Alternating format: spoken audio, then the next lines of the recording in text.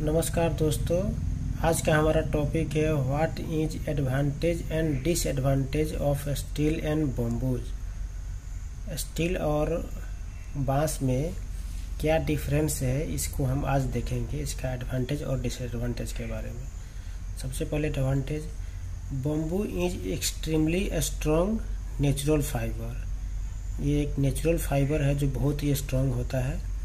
It has high tensile strength इसका tensile strength बहुत high होता है।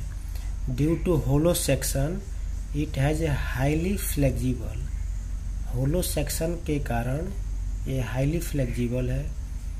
Light weight as compared to steel steel की अपेक्षा इसका जो वेट है, वो हल्का होता है। Low cost and environmental friendly ये कम कीमत पर मिलता है और इन्वायरमेंटल फ्रेंडली भी है। It has great shock absorbing capacity इसमें जो एब्जॉर्ब करने के जो कैपेसिटी होता है, वो बहुत ज़्यादा होता है। अब हम इसका डिसएडवांटेजेस देखेंगे। Less durable than steel so that not used in permanent structure while steel used in permanent structure इसका जो ड्यूरेबिलिटी होता है, बहुत ही कम होता है। इसीलिए ये टेम्प्रोरी वर्क या ब्रिज में यूज़ होता है। जैसे गाँव में फ्लड आ जाने से बाँस का यूज़ किया जाता है और जबकि स्टील जो है परमानेंट स्ट्रक्चर में यूज़ किया जाता है। Bamboo has a shrinkage problem while no shrinkage in steel बाँस में श्रिंकेज प्रॉब्लम होता है, जबकि स्टील में नहीं होता है। श्रिंकेज मतलब सिकुड़न, सिकुड़ना।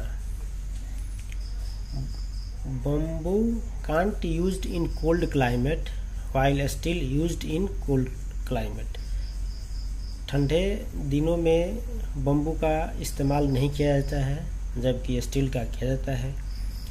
Bamboo has low modulus of elasticity while steel has high modulus of elasticity modulus modulus of elasticity जो होता है, बाँस में बहुत ही कम पाया जाता है, जबकि स्टील में बहुत ही हाई पाया जाता है। इसीलिए परमानेंट स्ट्रक्चर में स्टील को यूज़ किया जाता है। मॉडुलस ऑफ़ इलास्टिसिटी का क्या मतलब होता है? मॉडुलस ऑफ़ इलास्टिसिटी को हम यंग्स मॉडुलस भी बोलते हैं। और इसका मतलब ये होता है कि when even a material is loaded with in its elastic limit the stress is proportional to the strain is known as modulus of elasticity या यंग्स मॉडुलस जैसा कि आप इस इक्वेशन को देख सकते हैं stress is proportional to the strain इसको इजिकल टू में लिखने के लिए ई e को कांस्टेंट किया जाता है। इसीलिए E equal to stress upon strain हो जाएगा। जहाँ पे ई e डिनोट कर रहा है मॉडलस ऑफ़ इलास्टिसिटी को। सिग्मा इजिकल टू स्ट्रेस और इप्सिलॉन इजिकल टू स्ट्रेन अगर ये वीडियो आपको अच्छा लगे तो लाइक एंड शेयर करें। सब्सक्राइब करें। धन्यवाद।